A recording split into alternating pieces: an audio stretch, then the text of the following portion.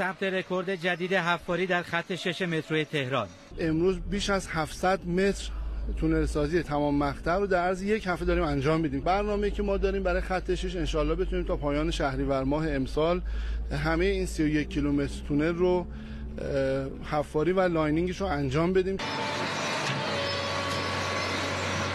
خط شش متروی تهران تا کنون 40 درصد پیشرفت فیزیکی داشته و قرار فاز نخست این خط تا بهمن امسال راه اندازی بشه. اولین افتتاحی که داریم در نیمه جنوبی ما هستش تا میدان سپاه. ما 13 ایستگاه طبق برنامه اولیه‌مون بوده که حتما باید راه اندازی کنیم. سعیمونه که انشالله این 13 رو 5 در... 5 ایستگاه بهش اضافه کنیم و با 18 ایستگاه بتونیم بهره برداری کنیم. قرار است تمام 27 ایستگاه خط 6 مترو تهران تا پایان سال 96 با ظرفیت جابجایی روزانه یک میلیون نفر به بهره برداری برسد.